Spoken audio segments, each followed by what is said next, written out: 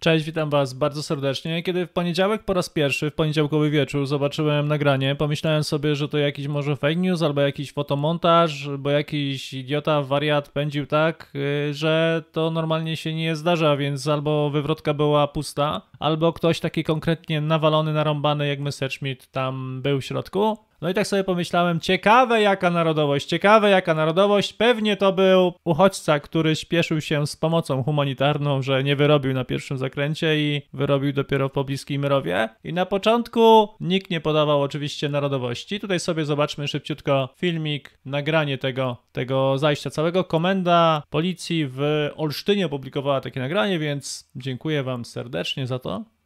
Zobaczcie, no ewidentnie już po trawniku, ale zasuwa, ale zasuwa, no aż dziwne, że mu się to nie, nie wywróciło, ale niezłe tam, popatrzcie, w tych ludzi tam, rany boskie, co to się działo, ojejku! Naprawdę, istny Armagedon, takiego wariata pirata drogowego nabombionego to jeszcze nie widziałem. Jak dziś, podało RMFFM oficjalnie już, że ten kierowca, ten Messerschmitt został aresztowany i jest to Ukrainiec 42-letni, o czym już mogliśmy się dowiedzieć, bo wcześniej zapowiadali, że jest to obcokrajowiec, ale jeszcze bali się podać tożsamości Ukrainiec. I teraz zobaczcie sobie, bo są dwie zbieżności. Informacje z poniedziałku i informacje z dzisiaj. Informacja z poniedziałku RMFFM, informacja z poniedziałku Komendy Policji w Olsztynie, informacja ze środy, czyli z dzisiaj RMFFM, informacja z dzisiaj Komendy Policji w Olsztynie. Zobaczcie, tak było w poniedziałek. Wywrotka, autobus i dwie osobówki. Wielu rannych w wypadku w Olsztynie. 26 osób ucierpiało, 5 z nich jest w ciężkim stanie. To dotychczasowy bilans wypadku na ulicy Bałtyckiej. W Olsztynie pijany kierowca wywrotki taranował tam auto. Auta w liczbie mnogiej, uderzył w autobus komunikacji miejskiej i wpadł do rowu. Mężczyzna miał ponad 2 promile, zobaczcie. Poszkodowanych zostało 26 osób, 10 z nich trafiło do szpitala, 5 jest w stanie ciężkim. I teraz zobaczcie. 42-letni kierowca ciężarówki był pijany, miał 2 promile alkoholu w organizmie, może odpowiadać za spowodowanie katastrofy w ruchu lądowym. Teraz słuchajcie. To obcokrajowiec. Prawdopodobnie pracował w okolicy. Przekazał oficer prasowej olsztyńskiej policji Jacek Wilczewski, ale odmówił wskazania narodowości. I dzisiaj, moi drodzy, policja opublikowała ta olsztyńska komunikat. Zobaczcie, jesteśmy na stronie policji w Olsztynie. Zarzuty i tymczasowy areszt dla kierowcy wywrotki z Bałtyckiej. I, I, słuchajcie teraz. Zarzuty sprowadzenia katastrofy w ruchu lądowym oraz prowadzenia pojazdu pod wpływem alkoholu usłyszał 42-latek. Zobaczcie, nie napisali nic skąd który staranował pojazdy i przystanek w Olsztynie przy ulicy Bałtyckiej. Sąd zdecydował o jego tymczasowym aresztowaniu. Tutaj piszą, że w poniedziałek 27 maja, e, zgodnie z ustaleniami funkcjonariuszy, 42-letni kierujący samochodem ciężarowym stracił panowanie nad pojazdem i staranował cztery samochody osobowe, autobus komunikacji miejskiej i wiatę przystankową. Badanie alkomatem wykazało zawartość ponad 2 promili alkoholu w jego organizmie. Na szczęście nikt z uczestników zdarzenia nie został poważnie ranny. Zobaczcie, RMF podaje, że 5 osób ciężko rannych, a ci podają, że nikogo nie było rannego. I zobaczcie teraz. Za sprowadzenie katastrofy w ruchu lądowym grozi kara do 10 lat pozbawienia wolności. W przypadku kiedy sprawca działa nieumyślnie 5 lat. Ostateczna kwalifikacja czynu zostanie przyjęta po zakończeniu śledztwa. Ani słowa skąd. Dzisiaj, kiedy podali ostateczny komunikat, że, że go aresztowali, nie napisali skąd.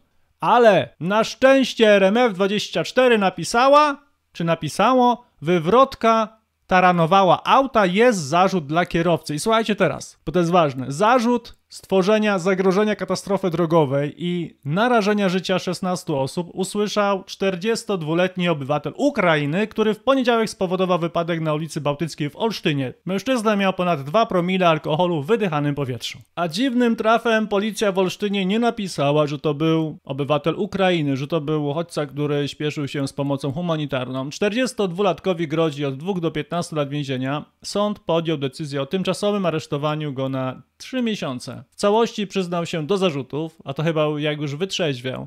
Wyraził skruchę, na pewno nie słuszna skrucha, nieprawdziwa, bo oni to zawsze to są recydywiści. Zgłosił gotowość dobrowolnego poddania się karze. Od 2000, od 2000 roku jest zawodowym kierowcą. Patrzy, 24 lata zawodowym kierowcą. Nigdy nie miał w przeszłości żadnego zdarzenia drogowego. Nie uczestniczył w żadnym wypadku. W Polsce pracuje jako zawodowy kierowca od wielu lat. I zobaczcie, skoro on pracuje od wielu lat, to jakież zagrożenie on spowodować? No przecież aż nie wierzę w to. Po pierwsze, był nabombiony, miał ponad 2 promile. Po drugie, jechał jak Messerschmitt, jak po prostu nienormalny. Aż dziwne, że on nie miał żadnej kary. Przypuszczam, że wcześniej to tam miał, ale prawko tam pewnie. No, ja jestem przekonany, że prawko to on tam e, kupił. Albo zrobił sobie, wydrukował.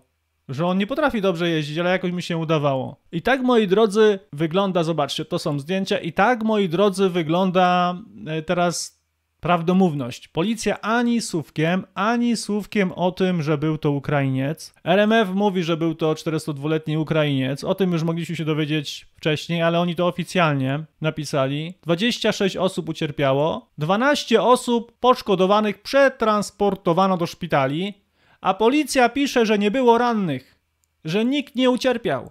Słuchajcie, nikt nie ucierpiał, 42-latek, a ci piszą, że ucierpieli, że 12 przetransportowano rannych do szpitali, że narodowość ten pan miał. Początkowo napisali, że obcokrajowiec, jeszcze nie napisali, że Ukrainiec, no bo po co wywoływać takie niedobre emocje. No to niedobre jest, nie wolno o tym mówić, no ale kiedy już się wygadali, kiedy już się wydało, kiedy wiadomo było kto jest kim, no to jednak napisali. Ale policja do końca, do samego końca będzie się wypierać, że to jest inaczej. I jak sobie wspomnimy to, co było w Szczecinie, to też świadkowie słyszeli język inny język obcy, później przedstawili jako wariat, jakiś chory psychicznie Polak. Tak to przedstawili. No sfabrykować można wszystko, naprawdę. Dzisiaj można sfabrykować wszystko. Dzisiaj można powiedzieć, że jakiś Polak w Zimbabwe e, dzisiaj skakał z wieżowca. Ale jego tam nigdy nie było. Żadnego Polaka dzisiaj tam nie było. Nawet żaden Polak, Polak tam nie leciał samolotem. Ale są w stanie coś takiego napisać. Ja zaobserwowałem od jakiegoś czasu coraz więcej widzę filmików, jak jacyś wariaci robią dziwne rzeczy. Pod wpływem alkoholu, Pamiętam, jak robiłem filmy. Dwa lat, trzy lata temu, cztery, też się coś takiego działo, ale nie było tego aż tak dużo. Czyżby nagle Polacy się rozpili? Czyżby nagle Polacy st stali się piratami drogowymi? Czyżby nagle Polacy stali się agresorami, przestępcami, kryminalistami, podpalaczami? Tak nagle, ni z gruszki, ni z pietruszki odpierdzieliło naszej mentalności coś i staliśmy się wariatami. No chyba nie. No chyba nie. Chyba bardziej logiczne tutaj jest to, że może ktoś do nas przyjechał. Po prostu może ktoś do nas przyjechał.